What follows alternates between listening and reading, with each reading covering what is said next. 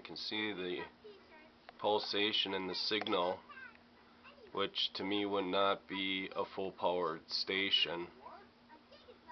Um, the location here is in Fridley. Um,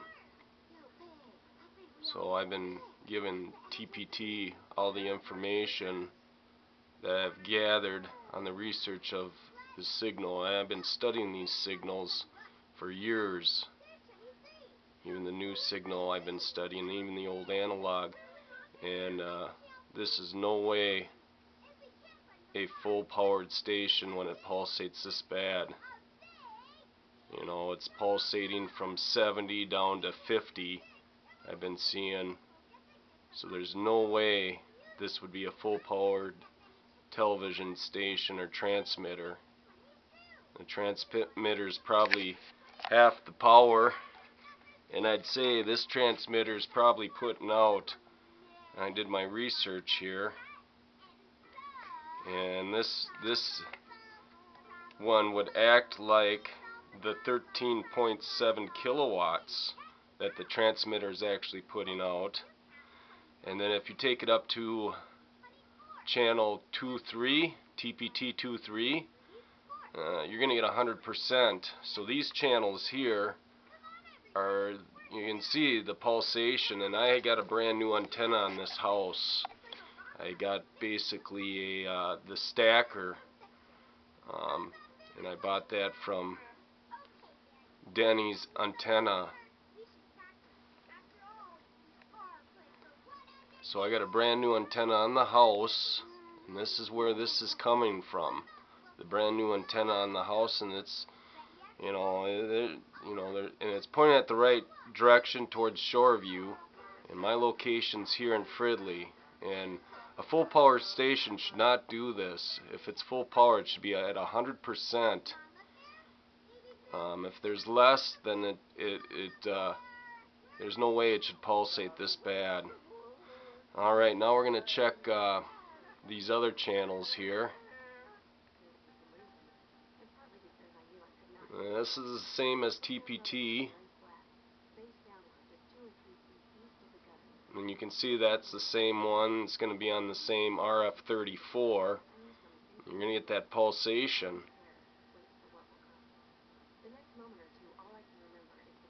And then that that to me is not a full powered station at all. Anybody else in the Twin Cities has any problems with TPT? Um, you should give them a, a call give the station a call because I've been working on this for years with them, actually months, and I'm not getting any results. No results at all. They just blow me off. Like I don't, I don't know what I'm talking about. All right, now we're gonna go to 2-3 and watch this. 100%.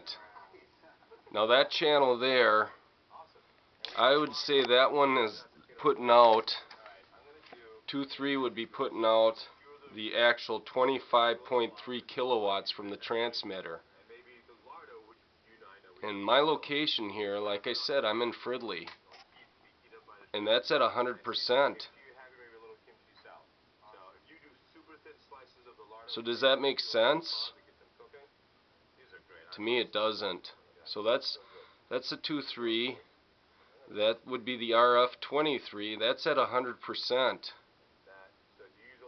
So I've been uh, I've been doing my research. I've been studying signals. And to have these channels, this channel basically makes it out to the Hawick, New London area in western Minnesota where I have a test site. And I've been testing signal there for the past couple years that I had the stacker antenna on the pole barn. And uh, that comes in good out there. So and I'm at my home here in Fridley. And look at that. That's hundred percent. There's no pulsation. There's not of no loss of signal at all. And that to me would act like a full full power television station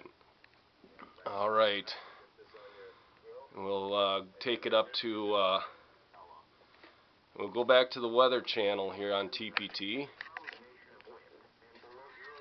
And then I'll check out the, uh,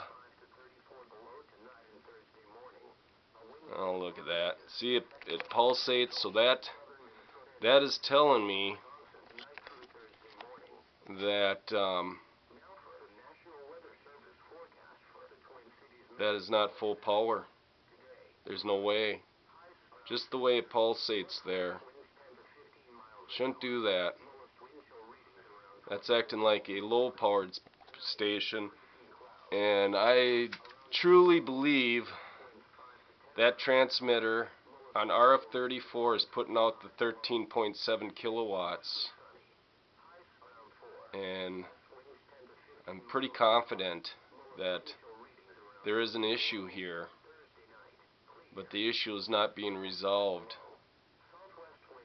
So anybody that has any problems over the air signal with TPT, uh, please give that station a call. I've been working with this numerous times. I contacted the FCC and uh, pretty much nothing's been done. They pretty much just blow me off, act like I'm a nobody don't know what I'm talking about. Um, but I've been studying this signal or signals for years and I pretty much know that something is not right. Um, to get in, in and look at that the, the pulsation. You know you're going from 60 to 50 to 68 to 70 to 66 whatever. I mean it's pulsating all over the place. I mean if that was a full power television station, if that was up to the uh, 25.3 kilowatts, that would stay at about 100%, especially when I'm not that far from uh, the transmitters. And the, it's wintertime. There's no leaves on the trees. There's no wind outside. Um, it's a pretty still day. And this is in the morning.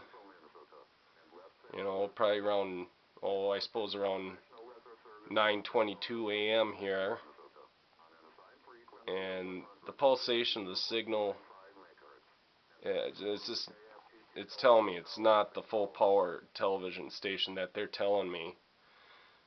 And you know, I just take it back to 23, and look at that, 100%.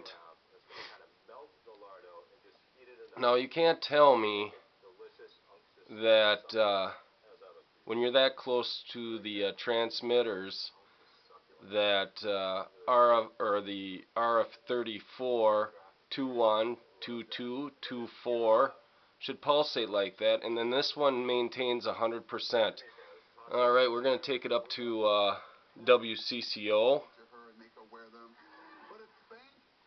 and for example I'm just going to hit that one.